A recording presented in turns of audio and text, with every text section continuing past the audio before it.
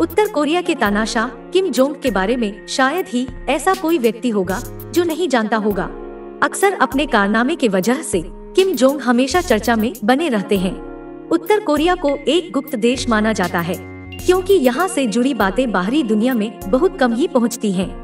बता दें कि उत्तर कोरिया में शासक की मौत के बाद उसके लिए रोने का भी रिवाज है। अगर कोई इस रिवाज को नहीं पूरा करता है तो किम परिवार उसे दंडित भी करता है।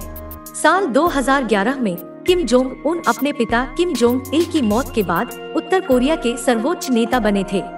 उनके दादा किम सुंग उत्तर कोरिया के संस्थापक और पहले नेता थे, जिनकी मौत साल उन्नीस सौ चौरानवे में हुई थी। इसके बाद किम जोंग उनके पिता किम जोंग इल ने सत्ता संभाली। कहते हैं कि उत्तर कोरिया के हर घर में किम जोंग के पिता और उनके दादा की तस्वीरें लगाना अनिवार्य है। किम जोंग इल की मौत के बाद प्रजा को शोक सभा में खुलकर रोने का आदेश मिला। इस शोक सभा में लोग पूरे दम से चिल्ला चिल्लाकर और छाती पीटकर रोए और जो ठीक से नहीं रो सका, वो अगले ही दिन गायब हो गया।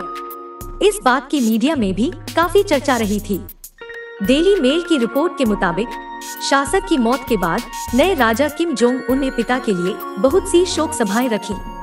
इन शोक सभाओं में जनता को आकर रोकर ये साबित करना था कि वे पुराने राजा से प्यार करते थे।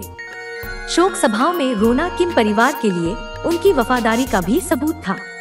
रिपोर्ट के मुताबिक ये शोक सभाएँ 10 दिनों तक चली, जिसमें युवा, बच्चे, बूढ़े, औरत मर्द सबके लिए रोना अनिवार्य था।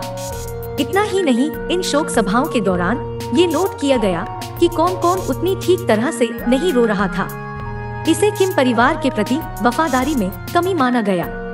शोक सभाओं में रोना किम परिवार के लिए उनकी वफादारी का भी सबूत था। दस दिन की शोक सभा के बाद क्रिटिसिज्म सेशन हुआ, जिसमें किम खुद उपस्थित थे।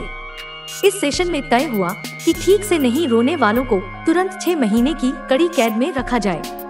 इसके बाद हज़ारों दोषियों को रातों रात घर से उठा लिया गया। कम रोने की वजह से बहुतों का पूरा का पूरा परिवार ही महीनों लेबर कैंप में रहा। इस वीडियो को देखने के लिए शुक्रिया।